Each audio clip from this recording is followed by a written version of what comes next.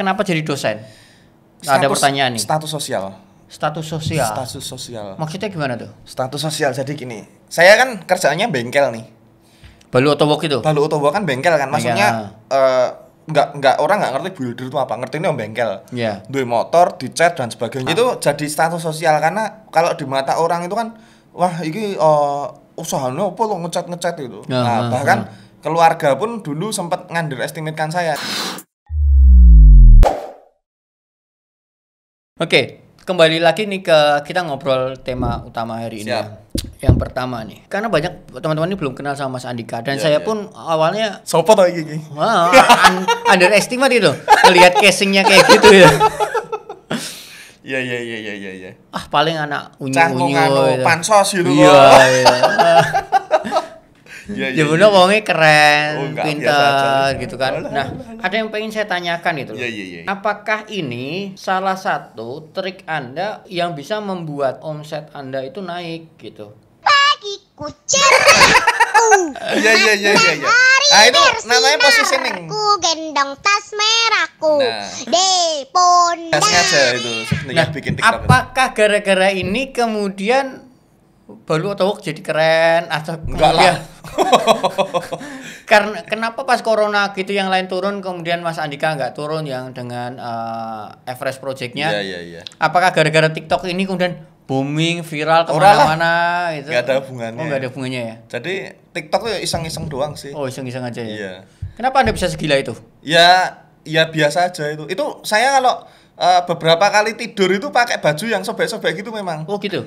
Jadi baju rumahan sama baju pergi kan memang beda kan. Ah, ah, ah, Nah, ah. nyamannya beberapa baju yang itu sebenarnya udah mau dibikin spell sama istri saya tuh. Hmm. Tapi mesti tak ambil lagi, tak ambil lagi. Nyaman karena nyaman. P- punya nggak Coach Dodi? Nggak Baju yang enggak maksudnya ya nggak sobek-sobek juga. Tapi baju yang nek nggak pakai itu nggak bisa tidur gitu loh. Enggak, enggak ada tuh. Oh nggak ada. Nggak ada. Oh nek saya ada. Oh ya mungkin karena memang Nah itu, Itu- makanya sampai eh, rewang saya yang bagian nyuci sama nyetrika itu sampai mbak mbak kayak gini kok masih dipakai sama Mas Andika? Ngono kuwi coach. Terus naksir gitu. ya ora Oh, enggak ya? maksudnya ya mau nek gitu waton nih kayak gitu coach. Jadi emang ada mungkin 5 sampai 6 baju doang aku. Oke. tapi nek pakai baju main gitu nggak bisa tidur saya mesti ganti harus ganti baju itu Kayak Oh iya, kalau ada sih baju tidur ada. Iya. Kalau habis main baju dicopot, ganti baju yang untuk tidur. Bener. Tapi nggak ada baju spesial. Kalau nggak pakai baju ini saya nggak bisa. Oh saya Nggak ada. saya ada. Jadi Kalau misalnya ngantuk ya tidur. nggak bisa. Nek ngantuk nggak pakai baju itu nggak bisa tidur. Nah, mbok totok endasku, totok endasku iki jitaken kepalaku. Hmm. Nah, nggak bisa. Karena kalau enggak di eh, apa lemari saya, kalau nggak ada baju lima baju yang buat tidur, saya mesti tanya istri saya. Pasti kan ganti kan ganti terus kan. Ah, ah, ah. Dicuci ganti lagi ya. Nek nggak ada itu nggak bisa tidur saya. Kayak gitu. Parah, parah, parah, parah. Iya, ya. iya, iya, iya. Nah ini ada ini ada pertanyaan. Ta- Tadi itu jadi sebelum kita podcast saya Oh, nge-share- share- share di share, share di, di grup, Facebook, share di grup. Ini saya mau podcast sama Andika. Ada yang mau nitip pertanyaan apa Oh, gitu oke. loh. Nah, ini salah satu pertanyaan dari Mas Yuda Wirawan. Siap. Mulai gesrek sejak kapan ya? geser uteke uteke geser uteke ra kebak itu Iya, iya, iya. artinya iya. gitu kan Iya, artinya gitu. Semenjak kapan? Terus eh, pertanyaan berikutnya ini mau berobat apa enggak gitu? jadi semenjak kapan ya semenjak lahir emang kayak gini orangnya jadi Oh. emang kayak gini aku nggak rapi itu udah dari lama Coach. Nggak rapi teman-teman itu jadi oh gitu ya. selalu nggak rapi uri-urian ngono jadi dulu saya waktu kecil kan kita mainnya gambar template itu ya Nah, saya punya kartu gacok namanya Iya. gacok itu kartu yang jadi andalan Iya. Nah, gacoknya saya itu depan belakang sama. Jadi nggak mungkin kalah aku. Lo uri-urian ngono kuwi wonge memang. Jadi apa eh, garap-garapi ya itu biasa. Jadi emang dari lahir. Oh dari lahir ya? Dari lahir. Makanya waktu saya ngisi workshop, ente Oh. juga, anda juga nggarapi saya ya? Iya, mesti oh, mesti mesti timbul itu. Oh. Nah, itu it- itu naluri eh, atau gini ngelihat siapa dulu yang pembicaranya enggak sih semuanya tak garapi sih. Pak Budi Isman Ya karena belum pernah aja. oh karena belum pernah Kalau pernah mungkin jadi top of mind. Jadi gini lah ini. Aku ketika ikut workshop mesti selalu jadi top of mind. Di mata dosennya. di mata dosennya Di pikiran di- dosennya. di pikiran yang ngajar Oke, eh di Coba. pikiran yang ngajar. Iya, Oke. siapa aja? Jenengan, Coach Bambang. Ah. Pas saya ikuti IBF itu, Ah. terus siapa lagi ya? Eh, Mas Bayu yang punya kreatifnya, saya Iya. belajar di sana. Eh, dan beberapa coach itu pasti nganggapnya oh, kan orang yang diingat itu pasti yang pinter dewe, kalau sing gesrek dewe. Iya oh, benar ya. Pilihannya dua. Pilihannya Ah, dua. Kalau nggak pinter dewe, Nah, gesrek dewe. gesrek dewe. Dan saya mesti selalu menjadi yang tergesrek, Iya, eh iya. tergesrek gitu. Karena itu lebih gampang. Nah, Daripada jadi yang- positioningnya beda kan. Wah, iki wong sing nyebeli iki sing tekon bae ra iki ya itu kayak gitu loh. Jadi emang emang udah tercipta dari lahir sih. Masya Allah. Jadi ini Mas Yuda ya, pertanyaannya terjawab ya. Terjawab, dia memang dia ja- naluri Kapan ngobatinnya ya, ya nggak nggak selesai obat uang edan diminum ke saya obatnya sing wedi mas. Oke, oh. kemudian kenapa jadi dosen? Ada Status- pertanyaan nih. Status sosial. Status sosial. Status sosial. Maksudnya gimana tuh? Status sosial jadi gini. Saya kan kerjaannya bengkel nih. Balu walk itu? Lalu Otobo kan bengkel kan, Bengkel, maksudnya eh, nggak nggak orang nggak ngerti builder itu apa, ngerti ini om bengkel. Iya. Duit motor, dicat dan sebagainya. Oh iya, pa- pasti dianggap ya udah pokoknya orang Iya, bengkel. nah, orang ya berarti bengkel. sama kayak saya dong. Misalnya konsultan brand pasti Oh. dianggap sebagai desainer logo. Nah, Pokoknya dianggap gitu ya, dianggap sebelah mata. Itu jadi status sosial karena kalau di mata orang itu kan, wah ini eh, usahanya apa lo ngecat-ngecat itu. Ah, nah, ah, bahkan ah. keluarga pun dulu sempat underestimatekan saya Oke, ketika usaha. waktu itu usahanya udah berapa karyawan? Dulu awal-awal cuma dua, dua tiga gitu. Atau masih dua tiga dua orang? sampai tiga orang gitu. Nah itu Omset? omset eh, omset masih sebulan tuh masih di angka 5 sampai 10 juta lah. Oh masih dikit memang. Tapi kan saya lulus S1 kan IPK 4,00. kan ada hubungannya sama omset toh?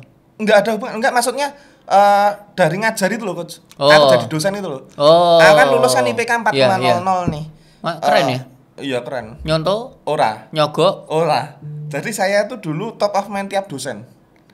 oh teknik Jadi, yang sama di teknik workshop. yang sama di workshop itu saya gunakan di kuliah jadi saya sering bantuin dosen untuk project-projectnya itu kan ibaratnya jenengan dosen saya nih Heeh. saya bantuin jenengan ada project apa ada PKM apa itu saya maju terus mesti Iya, iya. nah hasil dosen kan deket kan nggak mungkin nek udah tak bantuin kok Iya, bener. nggak ngasih Hmm. an nah nilainya dari semester 1 tanpa SP loh itu 4,00 karena ada orang ikut SP itu buat dapetin 4 tapi can dasarnya pinter sih aku nah kayak gitu jadi 4,00 Kalimat belakang S2 perlu diedit tuh. 4,00 juga nah kayak gitu makanya S2. iya Berarti Anda ini S2.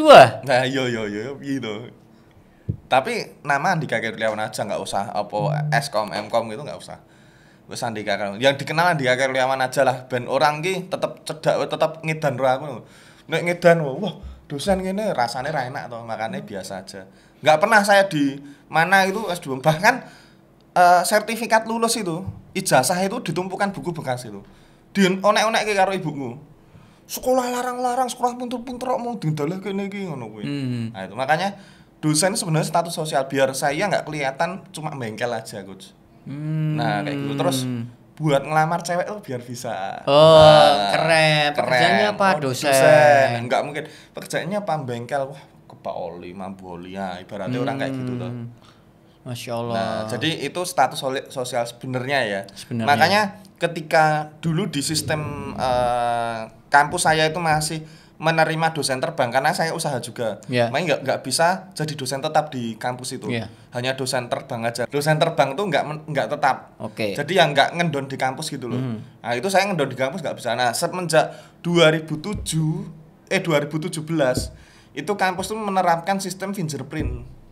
Jadi dosen-dosen tuh harus absensi dan harus ada 6 jam di kampus. Oh, Jadi, jadi dosen wajib. tetap wajib.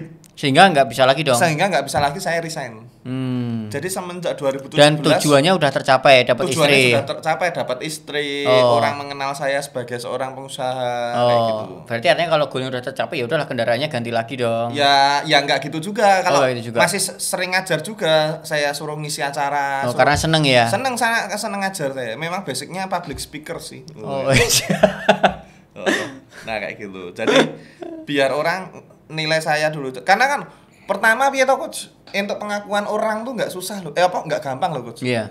Jadi sampai dikenal Andika eh, punya usaha itu.